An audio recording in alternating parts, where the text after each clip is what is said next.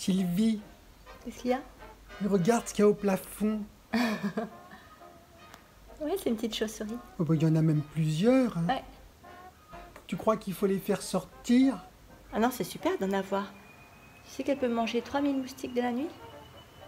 Mon cher Gaston chéri, ayant remarqué avec Sylvie que depuis quelque temps des chauves-souris avaient pris l'habitude de nous rendre visite le soir dans notre chambre, j'ai demandé à mon ami Antoine Cattard, qui était en train de finaliser avec ses collègues du CEN PACA un diagnostic écologique sur le site du château de la Mole, s'il connaissait nos petites visiteuses nocturnes.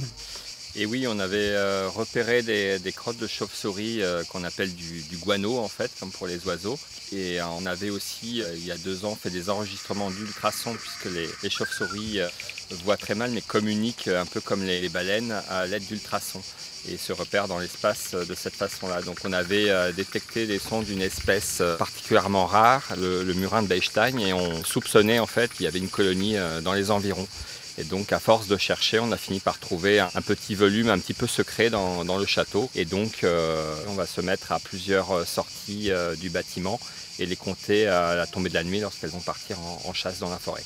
Est-ce qu'il y a beaucoup de chauves-souris dans la sur le territoire Et oui, on ne se rend pas compte qu'en fait, les chauves-souris, c'est un, quart des mammifères qu'on peut euh, avoir en France. C'est une trentaine d'espèces, euh, notamment ici dans la région PACA, on a énormément d'espèces. Et en fait, celle-ci, le murin de Bechstein, c'est la, seulement la cinquième colonie qu'on a ré- réussi à trouver dans toute la région euh, Provençale-Côte d'Azur. Donc vous imaginez à quel point c'est difficile pour les, professionnels qui s'intéressent à ces animaux-là de pouvoir trouver des gîtes de reproduction, puisque les ent- entendre les ultrasons, ça c'est une possibilité, mais par contre trouver une colonie qui va abriter plusieurs dizaines euh, d'individus et notamment de femelles en ce moment, les, euh, les femelles portent les petits, continuent de les allaiter, les petits vont, grandir et euh, rester dans le gîte quand ils seront trop grands pour rester accrochés à, leur mère. Donc les adultes vont, petit à petit chasser par eux-mêmes et les, jeunes vont les rejoindre pour ensuite acquérir leur indépendance.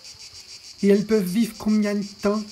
Ah, euh, autant les souris proprement dites ne vivent que quelques années, mais les chauves-souris qui sont euh, pourtant à peine plus, euh, plus grandes peuvent vivre quand même euh, plusieurs dizaines d'années pour certaines. Donc euh, c'est quand même des animaux qui vivent relativement longtemps. Et quelles sont celles qu'on rencontre le plus dans la région? Alors celles qu'on a le plus dans les maisons et notamment celles qu'on va verra chasser autour des lampadaires le soir, ce sont souvent des pipistrelles, donc des petites chauves-souris qui euh, peuvent s'insinuer dans des petites fissures euh, ou sous les toitures, euh, derrière les volets. Euh, c'est souvent les- l'espèce que les gens ont la possibilité de, de rencontrer le plus facilement.